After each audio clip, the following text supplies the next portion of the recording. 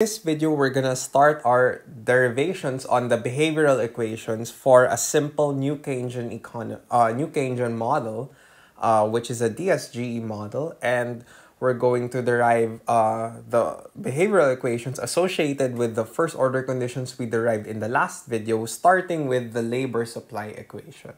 So the labor supply equ equation is very fundamental and it gives us a lot of things. And essentially, uh, the representative household will equate marginal cost of working, the marginal cost of their labor hours, which is measured in consumption units, with the marginal benefit, okay, given as the real wage. And doing this allows us to derive the labor supply equation. Now, how do we do that mathematically? Well, if you recall, in the last video, we derived the three first order conditions and to derive the labor supply the labor supply equation we're going to use um, the first and the second uh, equations the first and second FOCs that we have here. So we first manipulate the first equation so using okay using one the first first order condition we're going to use that and we're going to solve for lambda. So if you recall one is e naught beta t 1 over ct minus lambda t pt equal to 0.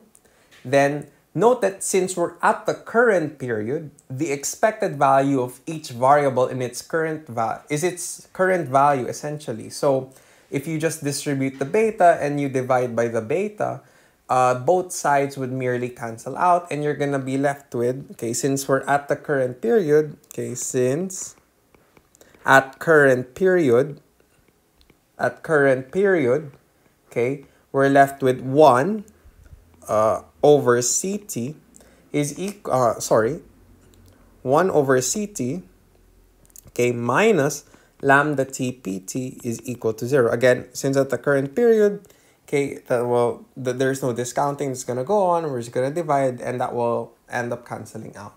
Then what we're going to do is we're going to transpose the lambda to the other side. So we're going to be left with 1 over CT is equal to lambda t pt. Okay.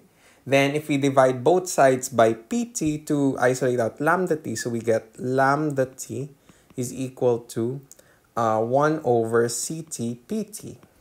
Okay, so we have one value of lambda t there. Then we're going to manipulate the second equation now. So using 2. So that's, uh, if you recall, that's E naught, okay, beta t negative nt uh, var phi uh, exponential of the shock to preferences plus lambda twt equal to 0. Then like with the first case, the expected value of each variable is just its current value. Distributing the beta and dividing the beta discount factor on both sides merely cancels out the beta.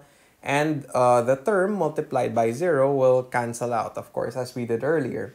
So what we do is similar to the first one, we isolate the equation with respect to lambda. So this one takes out. So we're going to be left with um, lambda t.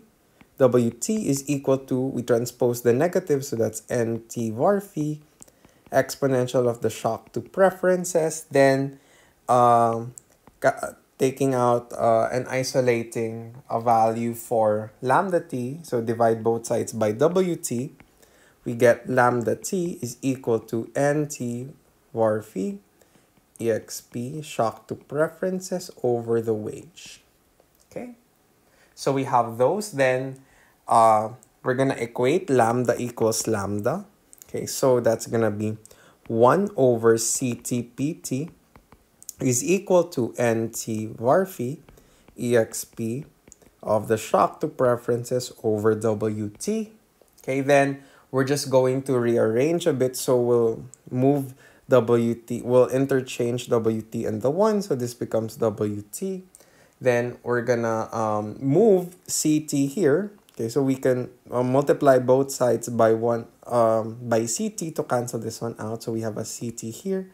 Take this out and we're left with Wt over Pt is equal to uh, exp of the shock to preferences. I'm just rearranging Ct times Nt raised to var phi. And that is our labor supply function or labor supply behavioral